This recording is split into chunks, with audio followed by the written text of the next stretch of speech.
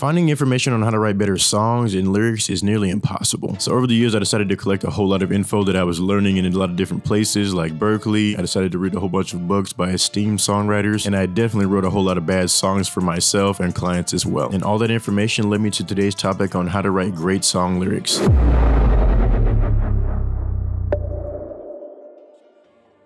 What's up everyone and welcome to the WavBenders music channel, the place where you can learn everything about music production and songwriting. If you've been enjoying our videos, please make sure to like and subscribe to our content so we can continue to make more videos for you and the rest of the music community as well. So today's topic is essentially how to write great lyrics. And so I wanted to base that around pretty much three basic things that I feel like apply to lyric writing that a lot of people don't know about. So I'm going to talk about some advanced techniques in a very kind of simple approach so you get a really great look at what the top songwriters are actually doing in their own writing and how you can apply it to your own as well. And the three topics we're going to discuss in today's video are going to be about rhyme, how to write in terms of phrasing, and the third is going to be internal and external details. So without further ado, let's go into the first topic about rhyme. So one of the biggest mistakes that I see a lot of new songwriters do is actually failing to use all of the available rhyme possibilities that there are out there. The type of rhyme that a lot of new songwriters use is called perfect rhyme, and they tend to overuse it a whole bunch. Macy's Scranton, the electric city. They call it that because of the electricity. And perfect rhyme is considered to be one of the strongest rhymes that exist, and that's because the consonant sound and the vowel sound both rhyme together. So examples would be well and sail, chase and face, and form and dorm. But outside of perfect rhyme, there's actually four other types of rhyme that you can use that make up a total count of five. The second type of rhyme you can use is called family rhyme, and this is when the stressed vowel sound matches exactly, and the ending consonant sounds are actually really close or are linked together. So examples would be wet and deck, float and yoke, and math and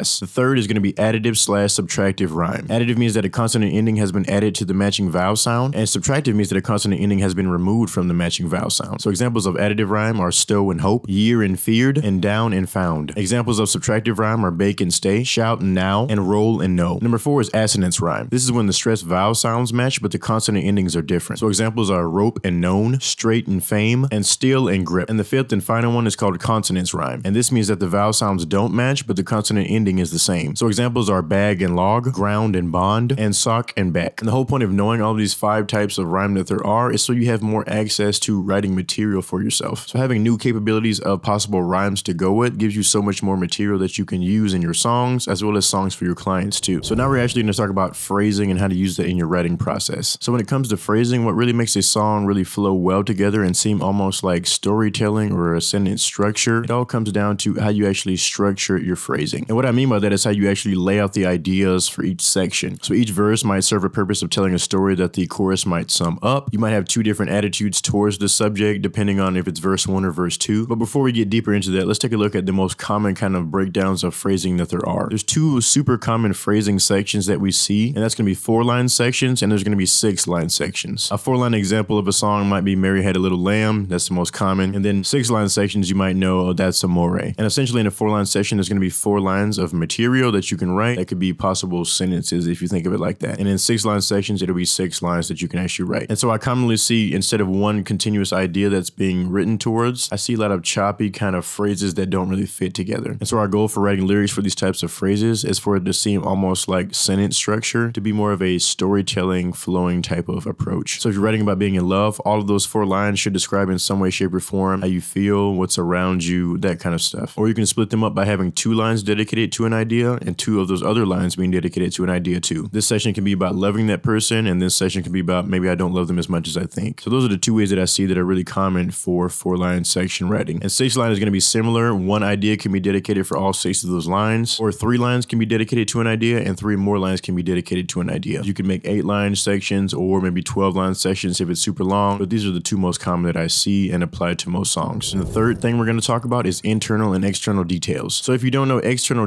detail actually describes all the things that surround the main character of a song. These types of details in a song create an image in our listener's mind that really paints a picture for them. An internal detail describes the thoughts and emotions that are happening within our main character's mind or heart. Both of these are really key to making our listener really picture and feel what you have going on or what your main character has going on in the song. But what I want to mention to you is to find the right balance between these two in your song. So don't have too much external detail and don't have too much internal detail. If you have too much internal detail, then it may sound like someone that's telling you their life story that you really didn't ask about. And if you have too much external detail, then it really sounds like you have no point to your story at all. You have to find the right balance between these two to be able to create great images, but also help you feel the emotions that are going on. A great example of external detail is when Kendrick Lamar said, is the perfect place for shading. And a great example of internal detail is when SZA said, Drake does a really great job of describing imagery that you picture in your mind, and SZA does a great job of showing emotions that she's actually feeling. I have an example for us to look at about how you can actually break this up if you would like to, depending on your structure for your sections. The first line could be external detailed, based around creating that kind of image. The second one could be a blend between external and internal, and then the last one could be purely internal. The second half could also be external, then external, internal again, as well as internal once more. And I got this song structure from a John Mayer song called Why Georgia. He really does a great job of describing both external details that help you picture something, but also some internal things that he's also experiencing while he's kind of on this drive. The goal, once again, is to make sure that you're not giving too much of a detail and not too less of a detail. You have to find the right balance that really helps your listener both picture and feel what you have going on. These are genuinely great tips that I see top songwriters use, so I highly recommend that you try these methods and apply them to your own music so you can actually create some top-notch lyrics that really connect with your listener. If you want me to do a deeper single video about one of these three topics, please let me know in the comments and I'll be sure to break it down for you as best I can to further go into detail about how you can actually apply it to your music and what it actually will mean for you. Thank you all so much for watching. Please make sure to like and subscribe for more content and so it continues to spread to more people in the community. We really appreciate all your time and your effort to actually subscribe and join us. And make sure to follow us on social media so we can connect some more. But until the next video, peace.